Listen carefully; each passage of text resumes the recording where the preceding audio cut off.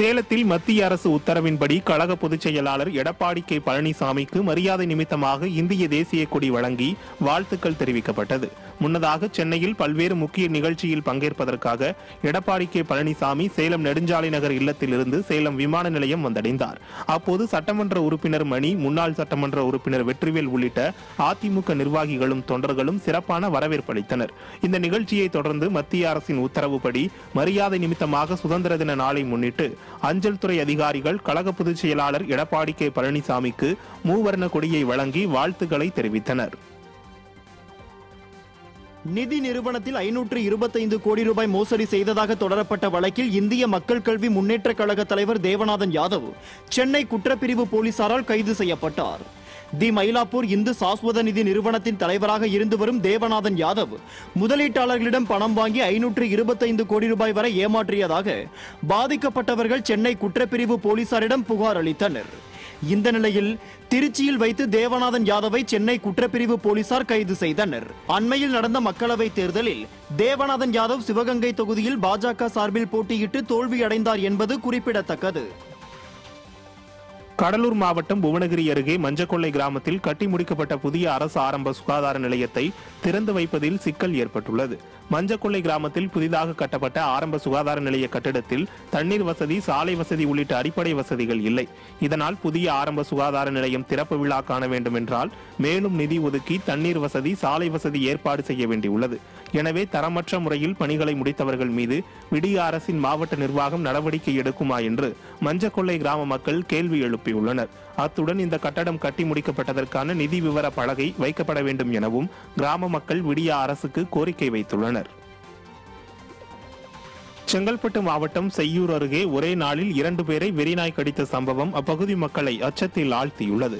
செய்யூர் ஊராட்சிக்கு உட்பட்ட வெள்ளிமேடு பகுதியைச் சேர்ந்த டேனியல் என்பவரின் நான்கு வயது மகன் ஜெப்ரினை வெறிநாய் ஒன்று கடித்தது. இதனால் கதறி துடித்த அச்சிறுவனை பெற்றோர் செய்யூர் அரசு மருத்துவமனையில் சேர்த்தனர். அங்கு முதலுதவி அளிக்கப்பட்ட நிலையில் செங்கல்பட்டு அரசு மருத்துவமனையில் சிறுவனுக்கு மேல் சிகிச்சை அளிக்கப்பட்டது. இந்த நிலையில் அந்த நாய் அதே பகுதியைச் சேர்ந்த விக்னேஷ் என்பவரையும் துரத்தி காலில் கடித்தது. அப்பகுதியில் ஏராளமான வெறிநாய்கள் தெரிந்து வருவதாகவும் அவற்றை கட்டுப்படுத்த உரிய நடவடிக்கை எடுக்க வேண்டும் என்றும் அப்பகுதி மக்கள் விடிய அரசிற்கு கோரிக்கை விடுத்துள்ளனர். தூத்துக்குடி மாவட்டத்தில் கடந்த ஆண்டு ஏற்பட்ட மழை வெள்ளத்தின் போது சேதமான பயிர்களுக்கு உரிய இழப்பீடு வழங்கவும் இந்த ஆண்டு பயிர் காப்பீடு பிரீமியம் செலுத்திய அனைத்து விவசாயிகளுக்கும் உடனடியாக இழப்பீடு வழங்க வேண்டியும் விவசாய சங்கத்தினர் மாவட்ட ஆட்சியர் அலுவலகத்தை முற்றுகையிட்டு ஆர்ப்பாட்டத்தில் ஈடுபட்டனர். இந்த ஆர்ப்பாட்டத்தில் நூற்றுக்கணக்கான விவசாயிகள் கலந்து கொண்டு உரிய இழப்பீடு வழங்காத விடியா திமுக அரசுக்கு எதிராக முழக்கங்களை எழுப்பினர். விழுப்புரத்தில் விசாரணை கைதி இறப்பில் சந்தேகம் இருப்பதாக மாவட்ட ஆட்சியிடம் கைதியின் சகோதரி மனு அளித்துள்ளார். ஜிஆர்பி தெருவை சேர்ந்தவர் அப்பு என்கிற அற்புதராஜ் சிறையில் அடைக்கப்பட்டிருந்த நிலையில் உயிரிழந்தார். மரணத்திற்கான காரணத்தை தெரிவிக்க காவல்துறையினர் மறுப்பதாக உறவினர்கள் குற்றம் சாட்டுகின்றனர். இந்த நிலையில் அற்புதராஜின் சகோதரி மாவட்ட ஆட்சியிடம் மனு ஒன்றை அளித்துள்ளார். அதில் அற்புதராஜின் இறப்பில் சந்தேகம் இருப்பதால் உடலை மறு உடற்குராய்வு செய்ய வேண்டும் உரிய இழப்பீட்டை பெற்றுத்தர வேண்டும் என மனுவில் தெரிவித்துள்ளார். விடிய ஆட்சியில் லாக்அப் மரணங்கள் தொடர்ந்து நடைபெற்று வரும் நிலையில் முதலமைச்சர் மற்றும் அமைச்சர்கள் மௌனமாக இருப்பதாக பொதுமக்கள் குற்றம் சாட்டுகின்றனர். அமைச்சர் தாமோ அன்பரசனை முதலமைச்சர் ஸ்டாலின் உடனடியாக பதவி நீக்கம் செய்ய வேண்டும் என சட்டமன்ற எதிர்க்கட்சி துணைத் தலைவர் ஆர் பி உதயகுமார் வலியுறுத்தியுள்ளார். மதுரை புறநகர் மேற்கு மாவட்டம் வாடிப்பட்டி வடக்கு ஒன்றிய கழகத்தின் சார்பில் உறுப்பினர்கள் அடையாள அட்டை வழங்கும் நிகழ்ச்சி கச்சைக்கட்டியில் நடைபெற்றது. இந்த நிகழ்ச்சியில் பேசிய முன்னாள் அமைச்சர் ஆர் பி உதயகுமார் அம்மாவை பற்றி நா கூசாமல் பேசிய விடியா அமைச்சர் தாமோ அன்பரசனை பதவி நீக்கம் செய்ய வலியுறுத்தினார். மேலும் பேசிய அவர் தற்போது பல்வேறு தரப்பினரும் அரசுக்கு எதிராக போராடி வருகிறார்கள். மேகதாதுவில் அணை கட்ட கர்நாடகா முயற்சிக்கிறது. இது குறித்து ஸ்டாலின் வாய் திறக்கவில்லை. தற்போது பழனியில் முத்தமிழ் முருகன் மாநாடு நடத்தப்படுவதை முருகன் கூட ஏற்றுக்கொள்ள மாட்டார். மத்திய மாநில அரசுகள் சண்டை கோழி போல எதற்கெடுத்தாலும் சண்டையிட்டு வரும் நிலையில் கருணாநிதி நாணயத்தை வெளியிட மத்திய அரசு எப்படி சம்மதித்தது என கேள்வி எழுப்பினார். இதன் மூலம் இரண்டு அரசுகளும் மக்களை ஏமாற்றி வருவது வெட்ட வெளிச்சமாகி உள்ளது என அவர் தெரிவித்தார். அரசு வந்து நான் நான் அடிக்கிற மாதிரி அடிப்பேன் நீங்கள் அழுகிற மாதிரி அழுகணும். நான் உங்களை திட்டுற மாதிரி திட்டுவேன். நீங்கள் அதெல்லாம் கண்டுக்கிறேன் இன்னைக்கு வந்து நூற்றாண்டு விழாவுக்கு இந்த இது அது லீகல் ஃபார்மாலிட்டிஸு சட்ட ரீதியான சில சம்பிரதாயங்கள் இருப்பதாக எல்லாருக்கும் தெரிஞ்ச ஒன்று தான் இப்போது நாணயம் வெளியிட்டு அவருடைய நாணயத்தை காப்பாற்றுவதற்கு அவருடைய பிள்ளை தான் முயற்சி எடுக்கிறாரு. அதுக்கு மத்திய அரசு இன்றைக்கு செவி சாய்த்திருப்பது இது எதை காட்டுகிறது என்று சொன்னால் இரண்டு பேரும் சண்டையிட்டுக் கொள்வது சண்டை கோழிகளாக காட்டிக்கொள்வது மக்களை ஏமாற்றுகிற ஒரு நிகழ்வாகத்தான் நாம் பார்க்கிறோம்.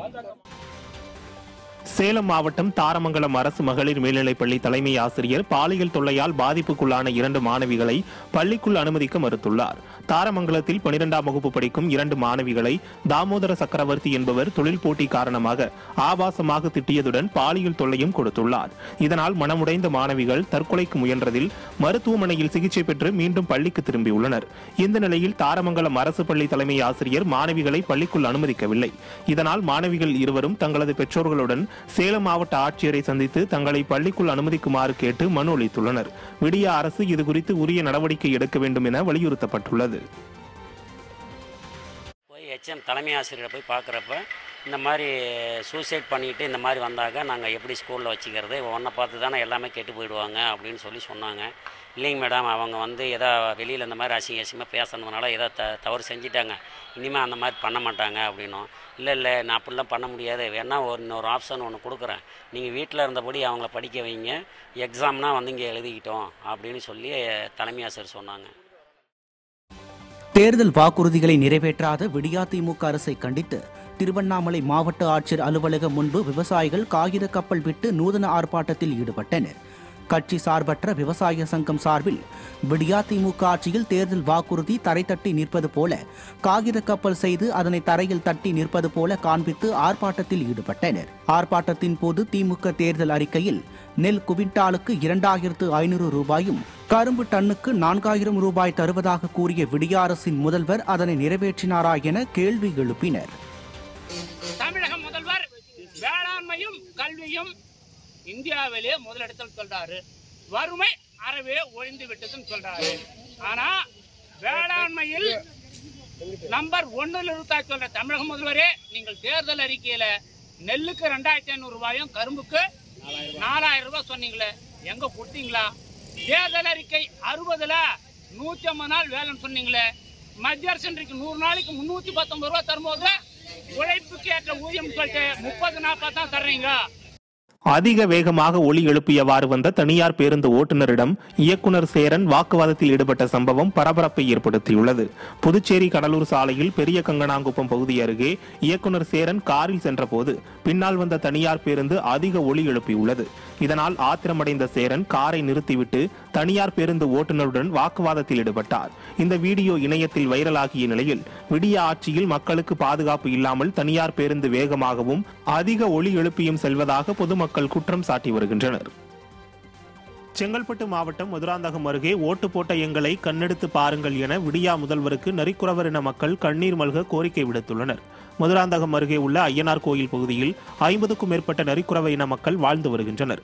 இந்த நிலையில் தட்கோ திட்டத்தின் மூலம் லோன் தர மறுப்பதாக நரிக்குறவ சமுதாய மக்கள் கூறுகின்றனர். கடந்த மூன்று ஆண்டுகளாக வங்கியிலும் மாவட்ட ஆட்சியர் அலுவலகத்திலும் மனு கொடுத்தும் எந்த நடவடிக்கையும் எடுக்கவில்லை என வேதனை தெரிவித்துள்ளனர். எங்களையும் கண்ணெடுத்து பார்த்து காப்பாற்ற வேண்டும் என விடியா முதல்வருக்கு கண்ணீர் மல்க கோரிக்கை விடுத்துள்ளனர்.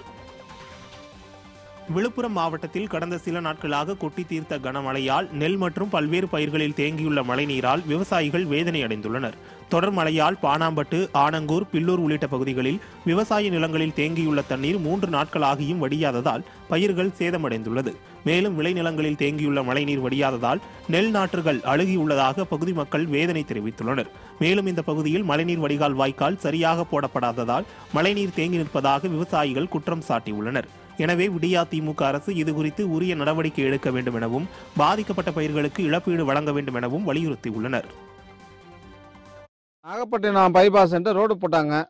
ரோடு போட்டது பார்த்தீங்கன்னா நிலத்து மட்டத்தில் இருந்து பத்து அடி ஹைட்டு தூக்கிட்டாங்க. ஹைட்டு தூக்கறதுனால என்ன ஆகி போச்சு ஏரி மாதிரி வந்து தண்ணி வந்து தேங்க ஆரம்பிச்சிச்சிங்க.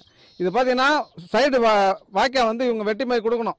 மற்ற அதிகாரிகளை கேட்கும்போது அந்த நகாய் டிபார்ட்மெண்ட் அதிகாரிகளை கேட்கும்போது சைடு வாய்க்கால் நாங்கள் கொண்டு போய் விடுறோம். பள்ளமான பகுதி ஓட மாதிரி இருக்கிற இடத்துல கொண்டு போய் விடுறோம் நாங்கள் இது வரைக்கும் விடலை.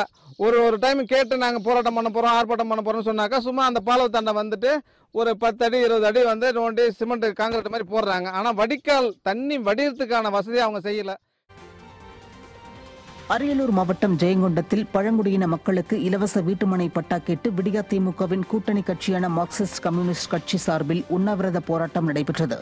ஜெயங்கொண்டம் அருகே நரசிங்கம்பாளையம் பகுதியில் பழங்குடியின மக்கள் வீடு கட்டி வாழ்ந்து வருகின்றனர். இந்த நிலையில் இவர்கள் குடியிருக்கும் பகுதிக்கு மனை பட்டா கேட்டு மார்க்சிஸ்ட் கம்யூனிஸ்ட் கட்சி சார்பில் அப்பகுதி மக்கள் ஜெயங்கொண்டம் காந்தி பூங்கா முன்பு ஒருநாள் உண்ணாவிரத போராட்டத்தில் ஈடுபட்டனர். இந்த போராட்டத்தில் விடியா திமுக அரசை கண்டித்து கோஷங்கள் எழுப்பினர். விடியா திமுக அரசை எதிர்த்து அதன் கூட்டணி கட்சியினரே போராட்டத்தில் ஈடுபட்ட சம்பவம். திமுக அரசின் செயல்பாடற்ற தன்மையை வெளிச்சம் போட்டு காட்டியிருக்கிறது.